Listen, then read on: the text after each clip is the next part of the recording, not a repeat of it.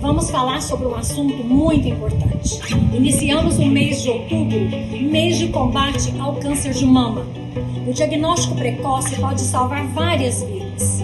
Por ser mulher, professora, coordenadora de um curso que tem em sua maioria mulheres, realizei várias palestras com especialistas para nos conscientizar.